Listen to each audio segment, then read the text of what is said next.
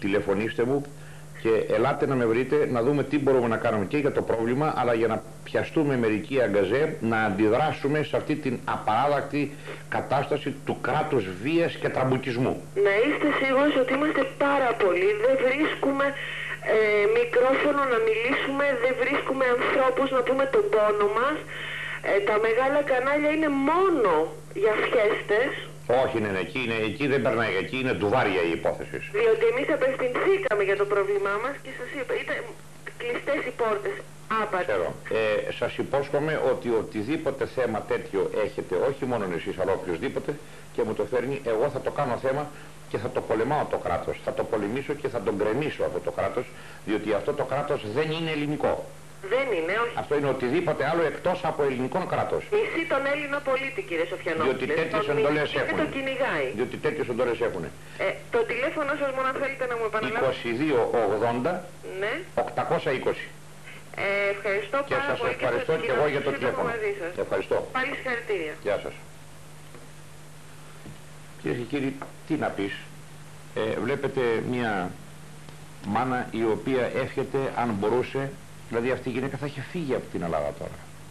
Αλλά νομίζετε ότι είναι η μόνη, διότι σήμερα δεν μας ακούει. Ε, ε, Ακούτε εσείς μόνο. Πόσοι άλλοι ανά την Ελλάδα; Παρακαλώ. Καλησπέρα σας κύριε Σοφιανόπουλε. Καλησπέρα σας αγαπητέ. Χαρητήρια για την ωραία σας εκπομπή. Ευχαριστώ. Τακτικός ε, τηλεθεατής σας και σας παρακολουθώ από καιρό και ενημερώνουμε για τα μεγάλα θέματα. Θέλω πρώτα να σας διορθώσω για κάτι που πριν από 15 λεπτού είπατε ότι εάν μας καλούσε η κυβέρνηση να κάνει δημοψήφισμα για ένα εθνικό θέμα, π.χ. η παραχώρηση κάποιου έστω και σπιθανού ελληνικού εδάφους, θα λέγαμε όλοι ναι, ήταν λάθος σας, τέλος πάντων Όχι ναι, λόγου ότι θα υπήρχε ομοφωνία, ομοφωνία δεν είπανε, όχι θα λέγανε, ομόφωνα. Μπράβο. Πάμε παρακάτω. Θα ήθελα επίσης από το κανάλι σας που μόνον παρακολουθώ για την ενημέρωση την πλήρη και τον πρόεδρο τον κύριο Ανδρέα, τον, τον Γρηγόρη τον... Κύριο Μιχαλόπουλο. Ναι, Ναι, ναι. θα ήθελα να υπάρχει μια ομοιογένεια εις προς, τη- ως προς το γεγονός των εκπομπών σας και συγκεκριμενοποιώ την ε, πρότασή μου.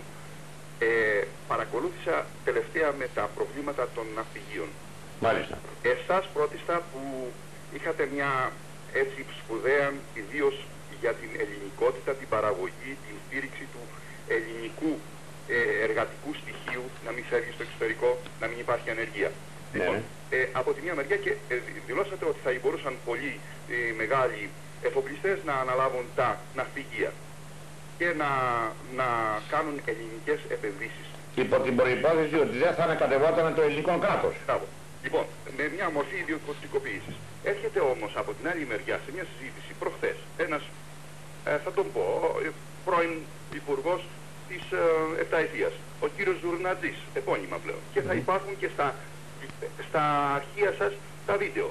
Θα δείτε εκεί, αν παρακολουθήσετε την εκπομπή του σε, με τον κύριο Γρηγόρη, ήταν που έλεγε τον κύριο Μιχαλόπουλο χαρακτηριστικά ότι επιτέλους ας τα δώσουν σε ξένα ε, ναυπηγεία, στο Λιβόρνο, δεξιά, αριστερά. Γιατί να δίνουμε τόσα χρήματα α, στο... και να ταΐζουμε τους αργόμιστους. Αγαπητέ, εγώ είμαι υπεύθυνος για αυτά τα οποία εγώ λέω. Ξέρω προσωπικά. Τώρα, τι είπε ο κύριος Μουραντζής, Ε, πού αλλά θέλετε να ξέρω εγώ. η ομοιογένεια- Το καθένας έχει τη γνώμη. Μια από το κανάλι, κανάλι θα έδειχνε ότι το κανάλι δείχνει έναν εθνικών προσανατολισμών και καταλάβατε τι εννοώ, στα Ναι. οικονομικά, στα εθνικά, στα τεχνικά, Κοιτάξτε, ε, στα- αυτό- στα ηθικά, στα θρησκευτικά, σε όλα, όπως όντως αξιέπαι να τηρεί, αλλά κοιτάξτε, όταν διχάζει το ελληνικό λαός, Θα παρακαλούσα, κανάλι, σκεφτείτε θα αυτό. παρακαλούσα επειδή Πολλοί εγώ... το σκέφτονται την Ελλάδα. Ναι, ακούστε αγαπητέ, ε, θα παρακαλούσα αυτά που λέτε, Ε, όπου δεν έχω λόγος να διαφωνήσω, θα σας παρακαλούσα να τα λέγατε στον κύριο Μιχαλόπουλο. Εγώ τι μπορώ να κάνω, δεν μπορώ να κάνω. Εγώ έρχομαι 11 παρατέταρτο, λέω αυτά που λέω και είναι συνεχεία. Ναι, διότι, κοιτάξτε, ε, ε, δεν ομιλώ για προπαγάνδα, ομιλώ για, ε, για μια ενότητα και ομόνια. Να Δεν μην- παρακολούθησα, δεν ξέρω, δεν παρακολούθησα την Ναι, εκπομπή με τον κύριο Ζωνατζή. Θα το δείτε, ερευνήστε. Αλλά όχι, δεν μπορώ, είναι αδύνατο, δεν μπορώ να το κάνω αυτό. Βάζετε- Διότι είμαι πάρα πολύ φορτωμένος. Ενημέρωσης Και ο ένας λέει δίκιο ο ένας, δίκιο ο άλλος, τι γίνεται. Εγώ είμαι με το μέρος σας πάντως. Να είστε καλά, ευχαριστώ πολύ. Παρακαλώ, αγαπητέ, ευχαριστώ. ευχαριστώ. Ε, κοιτάξτε, βεβαίως έχει δίκιο ο κύριος που λέει ότι θα πρέπει τα πράγματα να μείνουν στην Ελλάδα. Αυτό το οποίο ανέλησα την άλλη φορά, δεν ξέρω αν θυμόσατε κύριε και κύριοι, είναι ότι είπα ότι οι Έλληνες εφοπλιστέ να φυγούν ετησίως, χρόνος μπαίνει, χρόνος βγαίνει, ε, μάλιστα μια στιγμή αγαπητέ να τελειώσω τη φράση μου, χρόνος μπαίνει, χρόνος βγαίνει, οι Έλληνες να, ε, να φυγούν πάνω από 50 καράβια άνω των 50.000 τόνων. Και επειδή ένα καράβι των 50.000 τόνων δεν τελειώνει μέσα σε ένα χρόνο, άρα κατ' ελάχιστον, άσ' τα 50, 25-30 ναυπηγεία θα μπορούσε η Ελλάδα να διατηρεί, εάν βεβαίως αυτό το κράτος τραμπούκος δεν παρενέβαινε και άφηνε τον κόσμο να κάνει τη δουλειά του. Μάλιστα αγαπητέ, σας ακούω. ναι, καλησπέρα σας. Με ακούτε; Ναι, ναι. Λέγομαι Πιλίνης Δημήτριος. Λίγο πιο δυνατά μόνο. Λέγομαι Πιλίνης Δημήτριος. Ναι κύριε Πιλίνη, καλησπέρα σας. Έχω τέσσερα παιδιά τα, από τα οποία τα τρία έχουν γεννηθεί στην Αμερική. Μάλιστα. Όπως είπε η προηγούμενη κυρία, ψάχνει να βρει μια τρύπα να φύγει. Εγώ τα πήρα από εκεί και τα έφερα εδώ. Έχω περάσει Γολγοθά, αλλά βλέπω ότι δεν υπάρχει στην πατρίδα μας ένας Έλληνας αλλά αρσενικός. Αρσενικός. Να πάει Δεν σας ακούω. ένας Έλληνας Μάλιστα. αρσενικός. Ναι, ναι. Λεωνίδας. Μεγαλέξανδρος. Παλαιολόγος. Να πάει με στην Ευρωπου- Ευρωβουλή και να τους πει το μολόν λαδέ. Ελάτε να το πάρετε. Τι θέλετε την Ελλάδα να διαλύσετε. Σκοτώστε μας. Ξέρουμε να ζούμε λεβέντικα. Δεν ξέρουμε να πεθαίνουμε λύθαρα. Βεβαίως. Συγχαρητήρια αγαπητέ. Αλλά προσέξτε, μαζί σας, μαζί σας όπως τα λέτε είναι, Ε, σήμερα κύριε, Μιχα... ε, κύριε Σοφιανόπουλε βλέπω ένα έκτρωμα βουλής γεννήθαρους, ανθέλινες, σκοπιανές συζύγους πρωθυπουργών, Εβραίους πρωθυπουργούς, Τούρκους πρόεδρους πρώην Δημοκρατίας, προδότη πρόεδρο της Δημοκρατίας, αν δεν κάνει κάτι να σώσει τον τόπο μας ο Στεφανόπουλος, επώνυμα μιλάω. Δεν έχει βρεθεί ένας Έλληνας να πάει να κάνει χαρακτήρι στην ψηλότερη πυραμίδα του κόσμου, τον Παρθενώνα. ακούστε αγαπητέ, Και αμαρτυρόμενος στην, προσωπική, στην, στην παγκοσμιότητα. Έχετε δίκιο, Κάνω εγώ. έτσι είναι τα πράγματα, Σκέπτομαι να το κάνω εγώ. σημειώστε, όχι αγαπητέ, σημειώστε, Θα μας συρρυκνώνετε. Το έχετε δει κύριε Σοφ- Σοφιανόπουλε το γραμματόσημο; Δε- δεν σας, δεν σας κατάλαβα, Έχετε δει το γραμματόσημο λόγω της ανάλυσης της Προεδρίας σε όκ- το ελληνικό κράτος έφτιαξε ένα έκτρωμα γραμματοσύμου που πιάνει το μισό όλικο μέχρι τη Λακωνία, μέχρι τον Καβομαλέα. Είναι όταν ρώτησα τον κύριο Καζα- Καρατζαφέρη μου είπε ότι έγινε ένα λάθος. Στην πατρίδα τη δική μου τη Λακωνία κεφάλι που κάνει τέτοιο λάθος κόβεται. δεν έχετε άδικο πολύ. Ακούστε αγαπητέ, Πατρίδα κάντε, μας- κάντε μου τη χάρη, κατάλαβα το Μα πνεύμα μας σας. ανήνει. Αγαπητέ, Καθεί η Ελλάδα, χάνεται η ανθρωπότητα. όχι, όχι, δεν θα χαθεί η Ελλάδα, μην φοβόσαστε. Έχω συγνώσει φύλακες. Κάντε μου τη χάρη, σημειώστε το τηλέφωνό μου. Κύριε Σοφιανόπουλε, θα κάνετε κάτι, κάποια κίνηση. Βεβαίως, Είτε βεβαίως, κάντε μου τη χάρη. Πάρτε το τηλέφωνο μου 22 80 820. Αυτό που λέτε μου, 41 81 556 είναι του καταστήματός μου, είμαι Μανάβης. 41, 81 μάλιστα, 56. 5 556. και είπαμε το όνομα; Φιλίνης Δημήτριος. Στυλίνης. Έχω κάρτα και έχω το Παρθενώνα πάνω. Άνοιξα μαγαζί και μου το πήραν και μιλάω. Λέω. Κύριε Στυλίνη, να μην κρατήσουμε άλλο παρακαλώ το τηλέφωνο γιατί θα θέλουν κι άλλοι να τηλεφωνήσουν. Σας ευχαριστώ πολύ. Σας υπόσχομαι να σας πάρω τηλέφωνο. Αυτό που έσχεστε το έχουμε ήδη ξεκινήσει. Ευχαριστώ πολύ. Καλή νύχτα σας. Βλέπετε κυρίες και κύριοι, κι άλλος άνθρωπος αγανακτισμένος. Ε, εδώ βέβαια, μια στιγμή περιμένετε, με συγχωρείτε, βλέπετε εδώ πλέον η αγανάκτηση έχει περάσει τα όρια. Ε, αλλά δεν είναι μόνον αυτός. Είναι οπωσδήποτε κι άλλες χιλιάδες Έλληνες οι οποίοι αισθάνονται τόσο προδομένοι από αυτό το απαράδεκτο, απάνθρωπο και ανθεληνικό κράτος. Παρακαλώ. Καλησπέρα σας κύριε Σοφιανόπουλε. Καλησπέρα σας. Τα συγχαρητήριά μου για την εκπομπή σας. Ευχαριστώ. Σας παρακολουθώ και εγώ ε, αρκετά μεγάλο διάστημα ε, και μπορώ να πω ότι συμφωνώ με τα περισσότερα τα οποία μας έχετε πει. Ε, μια παρατήρηση έχω να κάνω ή σχόλιο σε κάτι που είπατε προηγουμένως ότι οι Έλληνες είναι αρκούντος ε, ευφυείς και μορφωμένοι. Ε, νομίζω θα διαφωνήσω λίγο πάνω σε αυτό, γιατί αν παρατηρήσει κανείς το φαινόμενο ότι το ίδιο κόμμα, το κυβερνών κόμμα, έχει ψηφιστεί για τρίτη κατά σειρά φορά και μάλιστα με μεγάλο αριθμό εδρών στη Βουλή, δεν ήταν όπως ας πούμε ο Μητσοτάκης που ίσα ίσα πήρε μια, μια έδρα παραπάνω και βγήκε, αυτό σημαίνει ότι καλός ή κακός αυτοί κατάφεραν και μας γέλασαν για πολλωστή φορά.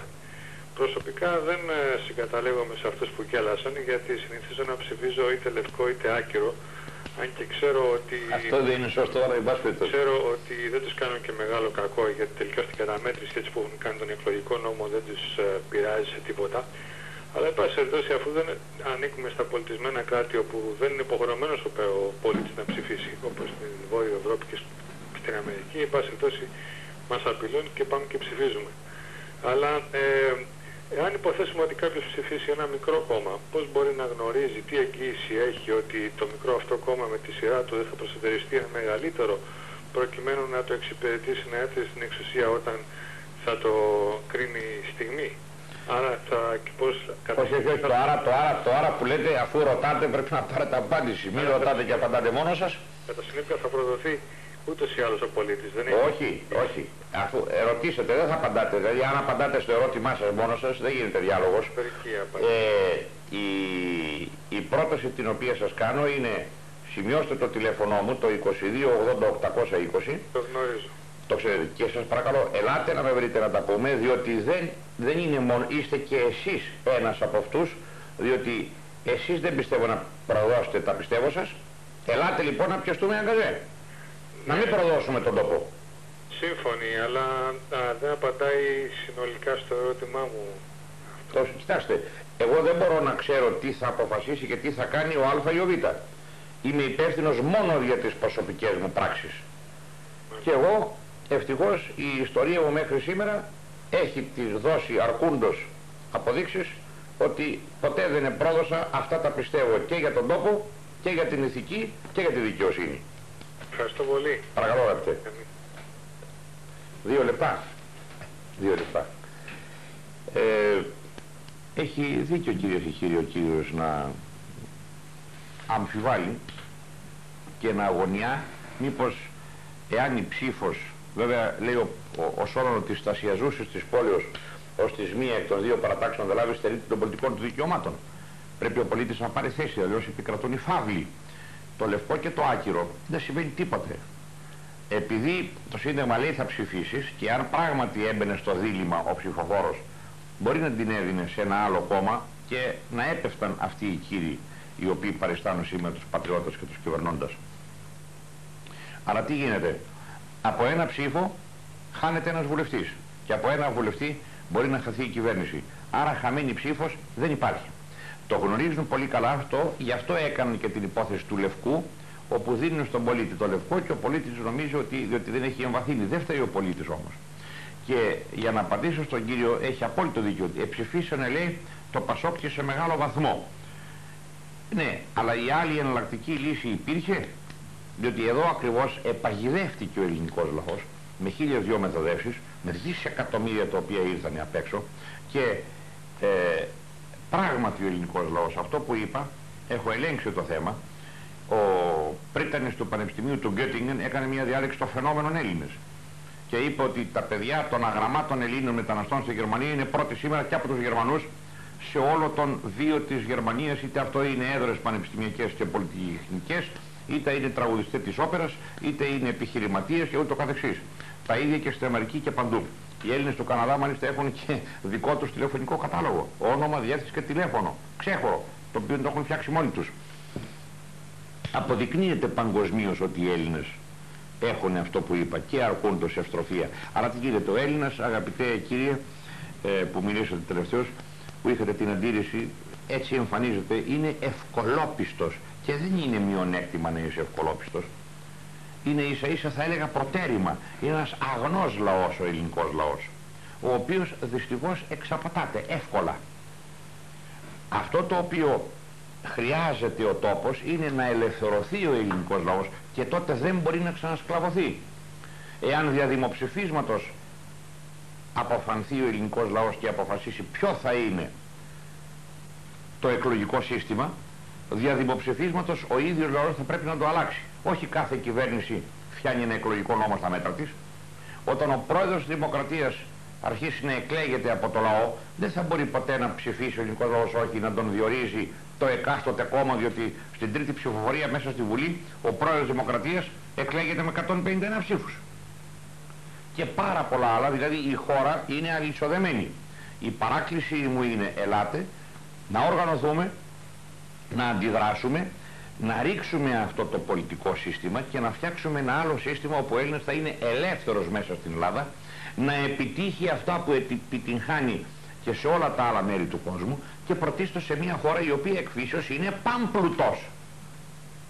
Αυτό είναι που δεν επιτρέπει το ελληνικό κράτος. Δεν επιτρέπει το κράτος στον Έλληνα να αξιοποιήσει το φυσικό πλούτο της χώρας, να ανεβάσει την οικονομία του, να μην φύγουν οι Έλληνες αλλά να έρθουν πίσω και να γίνουμε μια δύναμης. Και αν γίνουμε μια δύναμης πληθυσμιακή και οικονομική εδώ σε αυτό το σημείο της ανθρωπότητας δεν μας κουνάει κανένας. Κυρίες και κύριοι, την άλλη Παρασκευή θα επανέλθω με ένα θέμα το οποίο είχα θίξει για την παγκόσμια κίνηση συνενώσεως του ελληνισμού αλλά αυτή τη φορά θα το αναλύσω με λεπτομέρειες και θα περιμένω εσείς να αντιδράσετε και να έρθετε μαζί κάτι να κάνουμε σαν όραμα για την πατρίδα μας και για τον ελληνισμό. Καλή νύχτα σας.